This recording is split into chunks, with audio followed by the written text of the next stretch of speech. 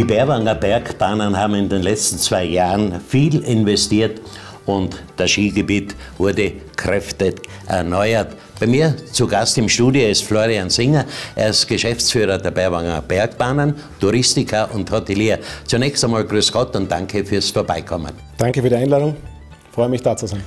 Herr Singer, das Skigebiet Berwang, man hat es gehört, kräftig investiert, Erneuerungen rundum. Äh, was war eigentlich ausschlaggebend? Ja, wir sind ein Tourismusort und vor allem ein Skiort seit den späten 40er Jahren und waren hier sicherlich äh, lange Zeit voraus. Und über die letzten Jahrzehnte sind wir doch mit unseren doch immer älter werdenden Skiliften etwas ins Hintertreffen gekommen. Ähm, ausschlaggebend schlussendlich war dann für uns, dass wir aus den vielen Skiliftgesellschaften schlussendlich eine machen konnten, die verbleibenden anderen übernehmen konnten und somit mit einer Stimme sprechen können und dem Gast dann auch das Skigebiet erneuern.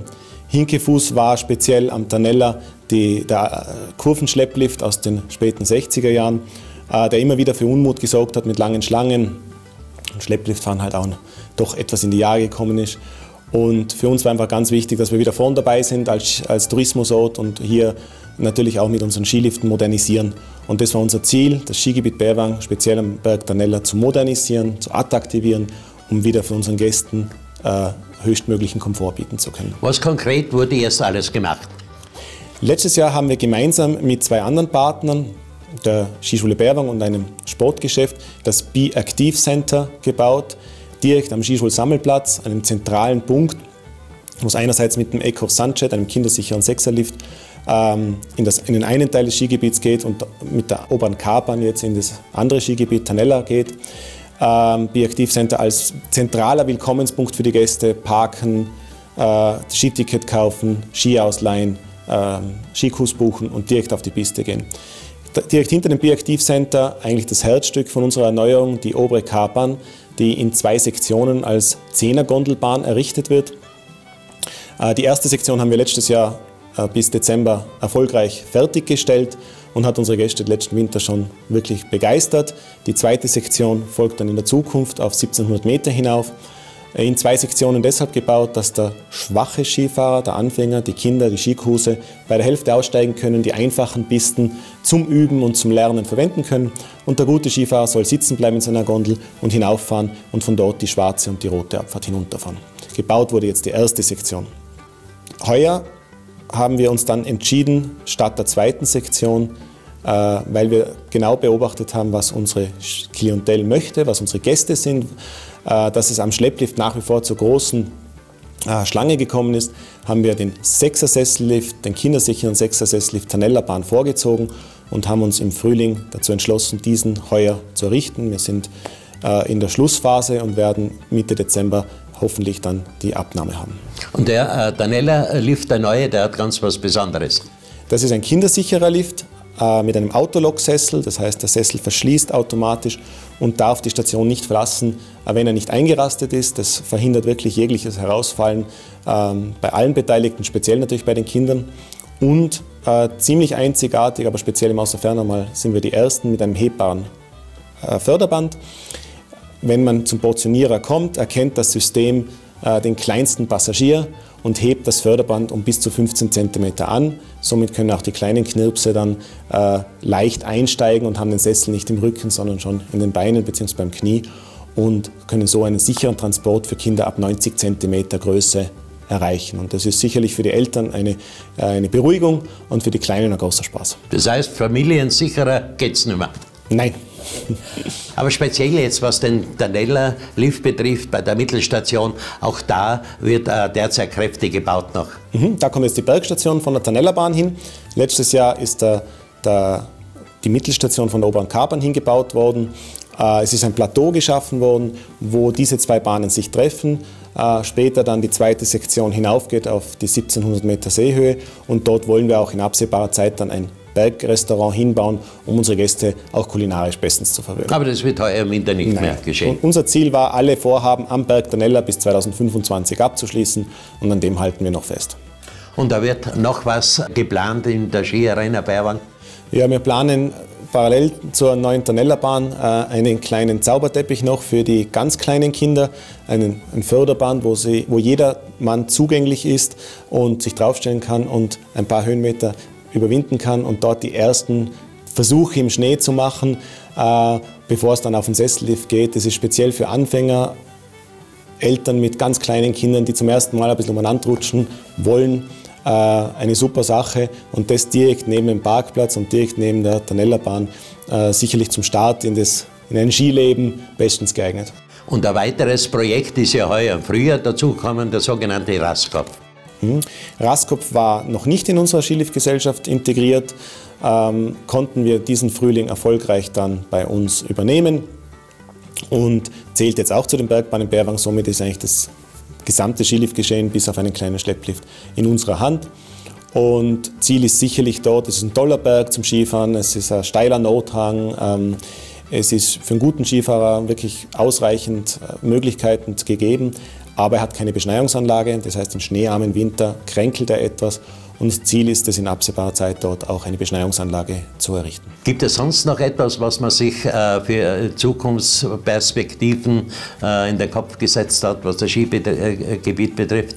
Wie angesprochen, jetzt die Erneuerung am, am Tanella, die Berggastronomie und Beschneiung am Rastkopflift ist für den Winter einmal das meiste abgedeckt. Für den Sommer sind wir seit einiger Zeit dran, an unserem Sommererlebnis, dem Almerlebnis auf dem Almkopf zu kreieren, um unsere beiden Bahnen, Sonnenbahn und Almkopfbahn, die diesen Punkt gemeinsam anfahren, äh, gut auszulasten und da dem Gast einfach viel Vergnügen und äh, mehr Erlebnis am Berg bieten zu können.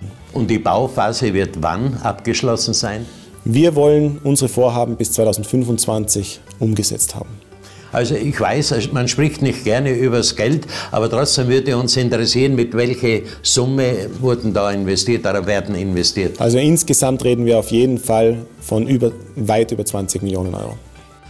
Noch eine Besonderheit hat das Skigebiet Berwang und zwar speziell jetzt in Zeiten des äh, Klimaschutzes, des Klimawandels. Also man hat die Möglichkeit, man kann sogar das Skigebiet bei Bahn ganz bequem anreisen.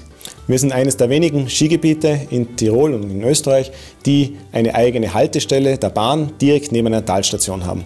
Die Außerfernbahn mit der Bedarfshaltestelle Almkopfbahn äh, fährt direkt in Bichelbach vorbei und so kann man äh, bequem im Zug anreisen, geht ein paar Meter, steigt in unsere Kombibahn Almkopfbahn ein, in die Achtergondel oder Sechsersessel und kann dort in unser Skigebiet einsteigen. Und das gleiche natürlich auch Retour auf dem Heimweg. Eine super Sache, speziell wenn viel Verkehr auf der Straße ist, ist die Bahn doch eine klimafreundliche und bequeme Anreise in ein Skigebiet.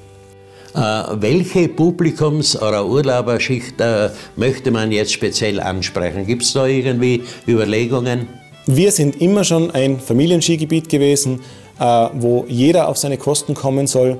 Natürlich sind wir für, für, für Kinder und, und Anfänger sehr gut geeignet. Ähm, und Familienskigast aus nah und fern, sei es der Tagesgast aus dem, aus dem, aus dem Bezirk Reute, aus dem benachbarten deutschen Allgäu oder auch natürlich unsere Gäste aus nah und fern, die dann auch bei uns übernachten. Und speziell jetzt äh, in Zeiten der Pandemie, also wir haben ja, wir befinden uns gerade wieder in einer sogenannten Lockdown Light. Äh, ich kann mir vorstellen, ihr habt da euch auch äh, schon Gedanken jetzt auf die kommende Wintersaison äh, gemacht, äh, beziehungsweise Maßnahmen, äh, was zur Sicherheit betrifft, beziehungsweise zur ähm, Infektionsgefahr einzudämmen. Klarerweise, wir befolgen die, die Anforderungen des Gesundheitsministeriums. Äh, wir gelten als öffentlicher Nahverkehr und Abstand und Maske ist sicherlich die beste, äh, die beste Möglichkeit, äh, sich hier nicht anzustecken. Ähm, wir haben natürlich einen klaren Leitfaden, auch auf unserer Homepage, wo genau angeführt ist, ähm, wie die Verhaltensregeln zu sein haben. Klarerweise Skifahren an der frischen Luft schadet sicherlich niemandem. Es geht um die Beförderung in den, in den Aufstiegshilfen. Wir können nur das befolgen, was man uns auch vorgibt und äh, können nur aussagen, dass wir uns schon auf den Winter freuen, wenn wir wieder aufsperren können und unsere Gäste sicher transportieren. Klarerweise die Konzepte, die stehen. Äh, und wenn sie sich ändern, werden wir uns auch wieder dran anpassen. Wir haben jetzt letzte Woche ein Gespräch mit dem Obmann des äh, Tourismusverbandes äh, Lechtal geführt. Sie sind ja unter anderem auch Touristiker und im Vorstand als Obmann Stellvertreter in der Zugspitzer Arena äh, tätig. Äh, die Sommersaison jetzt, äh, wie ist die verlaufen in der Zugspitzer Arena? Die Sommersaison war durch die Betriebsschließungen und noch nicht erfolgten Grenzöffnungen im Frühling deutlich kürzer, durch die Reisewarnungen im Herbst auch wieder hier deutlich kürzer. Aber in der Zeit, wo wir offen gehabt haben, wurde doch ein zufriedenstellendes Geschäft abgewickelt. Ähm, es war natürlich ein Minus, aber auf die Offenhaltedauer beschränkt, muss man sagen, ist es besser gelaufen wie erwartet. Was toll war, ist, dass die Gäste länger geblieben sind als wie sonst im Durchschnitt und die Gäste unglaublich glücklich waren und zufrieden waren, dass sie in Urlaub fahren konnten. Wir konnten viele Gäste auch überzeugen, dass Urlaub in den Bergen auch im Sommer äh, hochattraktiv ist. Äh, wir konnten Gäste aus dem Winter in den Sommer bekommen. Und diese Zufriedenheit bei den Gästen zu sehen, war einfach sehr schön und hoffen, dass wir das bald wieder machen dürfen. Wenn man heute so mit den Touristiker hier im Bezirk spricht, also man äh, stellt immer fest, der Sommertourismus äh, fängt immer an, mehr zu boomen. Wie schaut das bei euch aus? Auch in der Zugspitzarena steigen die Zahlen im Sommer.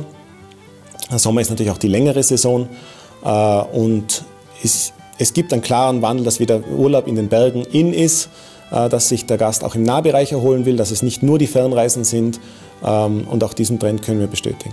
Ich kann mir ja vorstellen, auch innerhalb des äh, Tourismusverbandes äh, Tiroler Zugspitze Arena äh, hat man sich Gedanken äh, gemacht über die zukünftige Entwicklung Corona, speziell in Corona-Zeiten. Ähm, wie schaut es da aus? Will man da speziell vorgehen jetzt? Oder? Es ist ganz schwierig, da da zu sagen, was sein, kommen, was sein wird und was kommen wird. Äh, Im Moment sind die Betriebe behördlich geschlossen. Im Moment gibt es Reisewarnungen von alle unsere wichtigen Kernmärkte. Und äh, wir hoffen alle sehr, dass wir Mitte Dezember wieder aufsperren können. Aber da können wir nur äh, reagieren und nicht agieren. Äh, wir können sagen, wir haben in unseren Betrieben, Hotels, Vermietung, Gastronomie, im Sommer gezeigt, dass wir sehr gute Konzepte haben, dass wir äh, Abstand, Maske, ähm, Hygienekonzepte gut umsetzen können, dass die Gäste sicher sind bei uns, dass sie sich auch sicher fühlen, dass hier sehr wenige Ansteckungen bis keine Ansteckungen passieren. Und äh, somit hoffen wir einfach sehr, dass die Infektionszahlen so runterkommen, dass wieder die Betriebe aufsperren dürfen und auch, dass die äh, Reisewarnungen aufgehoben werden. Sie sind ja selber auch Hotelier, betreiben ein erfolgreiches Hotel in Berwang. Äh, mit Corona, wie sind Sie damit umgegangen? Wie hat Sie äh, das äh, betroffen? deutlich kürzere Saisonen, aber natürlich viele Gedanken gemacht über eben besagte Hygienekonzepte, Abstandskonzepte und wie ich zuerst schon gesagt habe, es ist wirklich zum Umsetzen, man kann es machen. Die Gäste sind unglaublich dankbar, wenn man wegfahren kann. Natürlich haben gewisse Gäste auch Bedenken und Befürchtungen, aber die kann man ihnen nehmen. Und ich würde sagen, die Hotellerie ist gerüstet äh, für eine weitere Saison. Ähm, um den Gast auch einen sicheren Urlaub bereiten zu können. Aber jedenfalls sind natürlich auch äh, solche Umsetzungen, sprich Hygiene und Vorsichtsmaßnahmen, auch natürlich mit einem großen finanziellen Aufwand verbunden, sprich Trennwänden etc.